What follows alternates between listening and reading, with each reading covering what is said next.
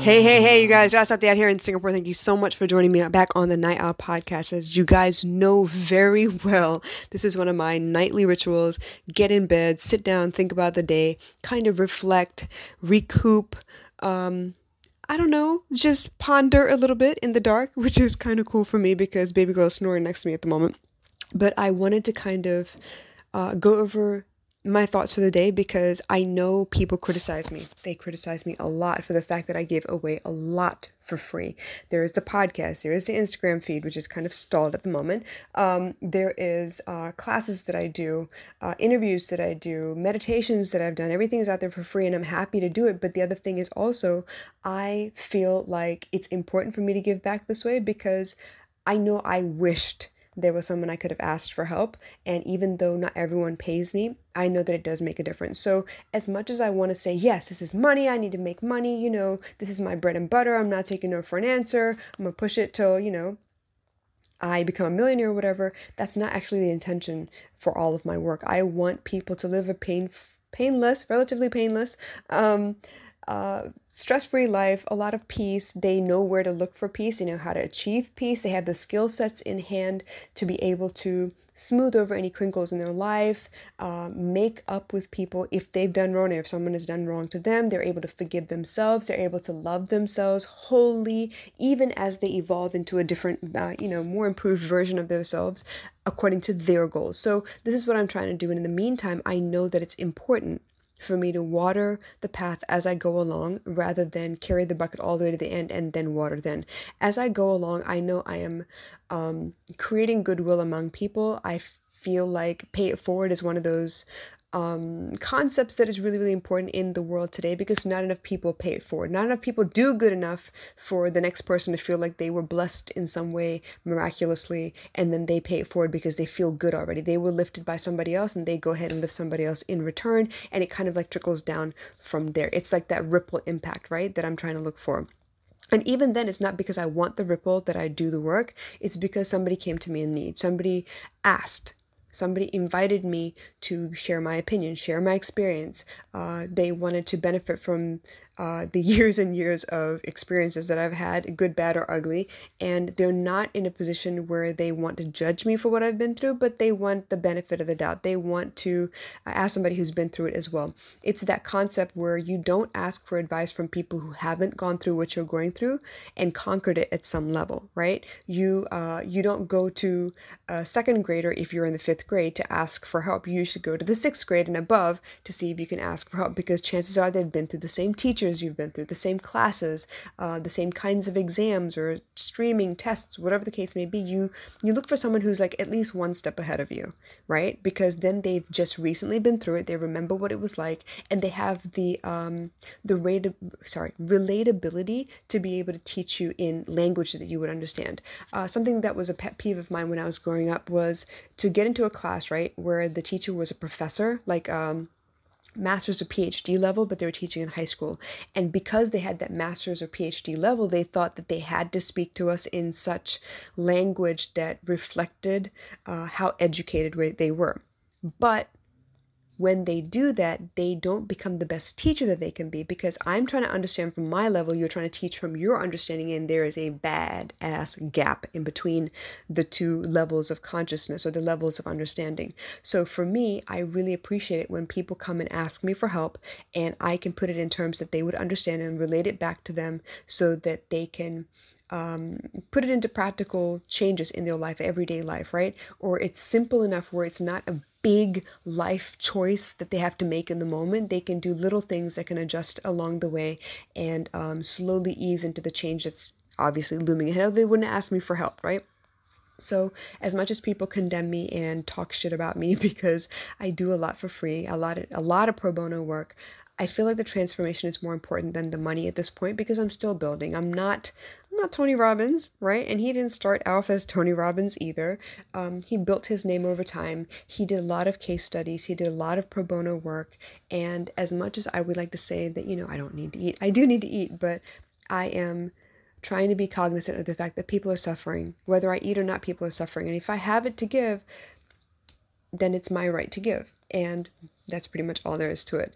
Um, I like the illustration that I saw today that made me think of this because it's almost like a woman carrying, you know, there's like a, a, pole across her shoulders, there's buckets on both sides, there's a hole in the buckets, and as she walks back and forth um, from where she's going to where she was, right, uh, it's watering both sides of the path. And as she, um, as she does this over and over again, maybe a couple of times a day, she notices that you know the grass is a little bit greener where she waters it, and it becomes a more a, a kinder path, uh, a more beautiful, aesthetically pleasing path, which makes uh, it kind of relieves the burden of walking the path in the first place with that burden on her shoulders. So I like that concept. I like that imagery. It makes me feel good. Yes, sometimes I do things to make myself feel good as well. But as much as I would like to say that I'm only serving the other person, a lot of times the advice that I need comes out of my own mouth as I serve the other person. So not only does one teach, but two people are learning. They're learning from me, and I'm learning also from the feedback that they give me. It's a,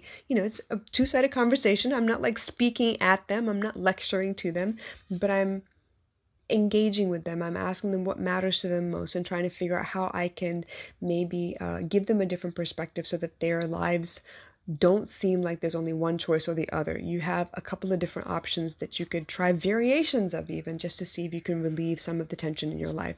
Because life is short. I don't want to suffer. I don't want you to suffer.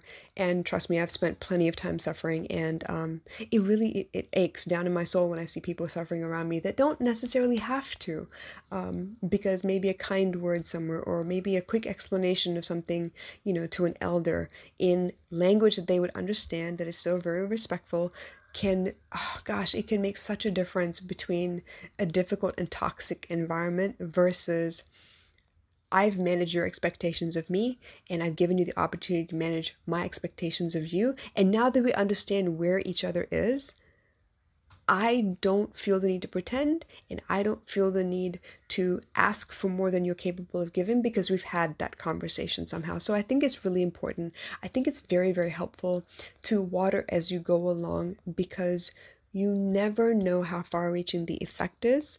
And I believe in giving goodwill along the way. Don't wait till you've arrived and you're a millionaire for you to give back to your community. Give back wherever you can. You know, what little you can do really does help. If I can, you know, share a meal with you, if I can open my my doors to you because you need a safe uh, place to stay for a little while, if you need to run away for the moment and just hide for a moment in a place that is safe where you can just be yourself, well, if I'm able to accommodate you, I will do my best to do so. If you need a listening ear, if you need a hug, if you need uh, money for cab fare or money for your MRT card, any of those things, if I'm able to give it, I give it because I know for the most part in my life, it's been the kindness of strangers that saved my life. It has been uh, moments where I was in desperate need. I didn't have anyone to ask, and I was also shy to ask that the that the kindness of a stranger was almost like the hand of God to me. I remember so many times where um I I used to get to the end of my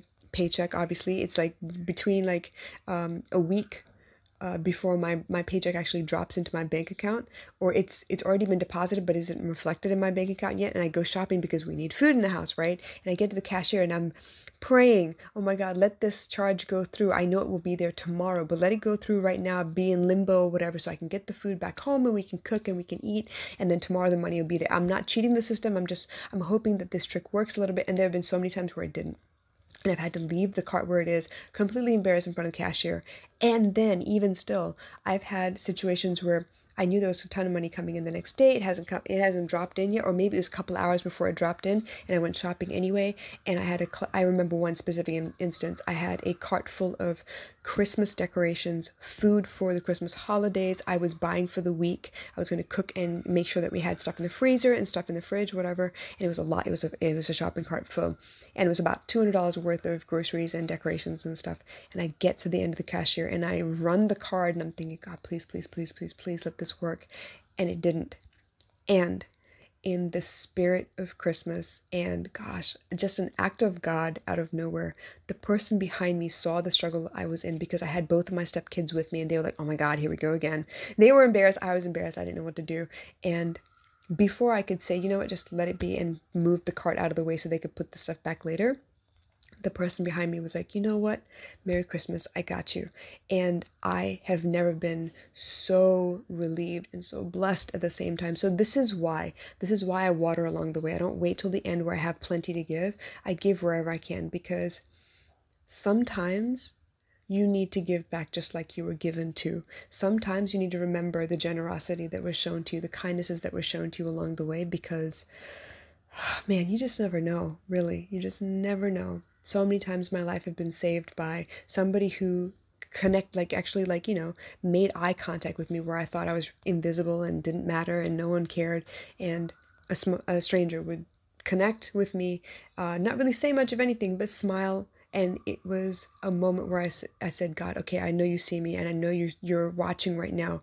And this, you've sent this person here to connect with me and show me that i do matter and i, I shouldn't give up like i'm thinking of giving up right now. And i just find a way to keep going a little bit. So, for those of you out there who are struggling, I know this year has been tough, but I hope this helps. And uh, if you have any questions, DM me. In the meantime, y'all take care. Bye.